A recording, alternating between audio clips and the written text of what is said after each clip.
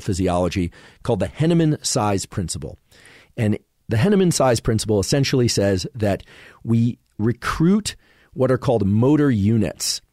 Motor units are just the connections between nerve and muscle from a in a pattern that staircases from low threshold to high threshold. What this means is when you pick up something that is light, you're going to use the minimum amount of nerve to muscle energy in order to move that thing.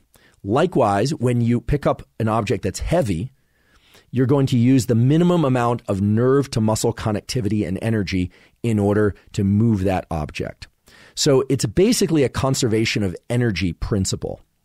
Now, if you continue to exert effort of movement, what will happen is you will tend to recruit more and more motor units with time.